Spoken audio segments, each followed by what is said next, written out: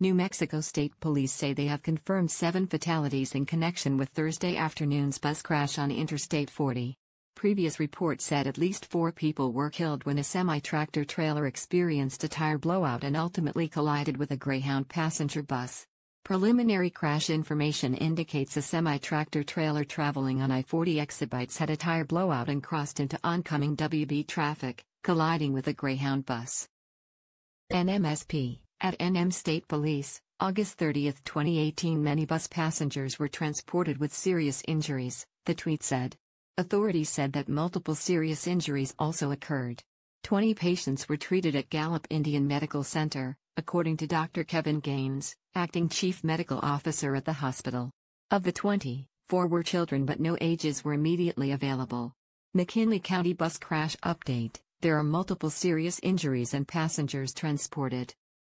Officers and EMS are actively working and assessing this scene. A PO is en route and will update media when info is available. All available information will be released via Twitter, NMSP, at NM State Police. August 30, 2018 Six patients were treated and sent to the University of New Mexico Hospital, four were transported to Banner Hospital in Phoenix and ten were still being treated at Gallup. Conditions of those being treated at Gallup ranged from good, 2 patients, to serious, 2, and critical, 1. At least 47 passengers were riding on the Greyhound bus that was heading from Albuquerque, with at least one scheduled stop in Phoenix, the company told the Associated Press. The passenger bus involved in the accident experienced front end damage, while a semi truck was discovered lying on its side. Video also showed debris scattered about the roadway and emergency responders at the scene. A witness described the incident as horrible, telling KRQE that screams were coming from the bus. It was horrible there was people trying to climb out of the windows of the bus.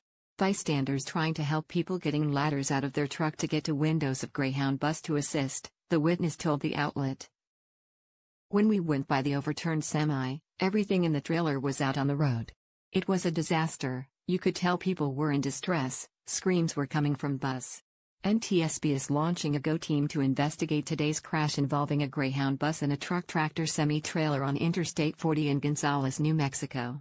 NTSB underscore newsroom, at NTSB underscore newsroom, August 30, 2018. The National Transportation Safety Board, NTSB, tweeted that they were sending a team to investigate. Hashtag traffic alert McKinley County, I-40 westbound is closed at mile marker 50 near Thoreau due to a crash involving a passenger bus. Traffic is being diverted onto the frontage road in Thoreau. Expect delays. More info will follow when available. NMSP, at NM State Police, August 30, 2018. McKinley County Emergency Management has established the following number for family members of passengers looking for information on their relatives 505 722 2002, NMSP, at NM State Police. August 30, 2018 road closures near Thoreau occurred as a result of the crash, state police said, telling the public to expect delays. The McKinley County Emergency Management set up a phone line for family members of passengers looking for information on their relatives, police said. The number is 505 722 2002. The Associated Press contributed to this report.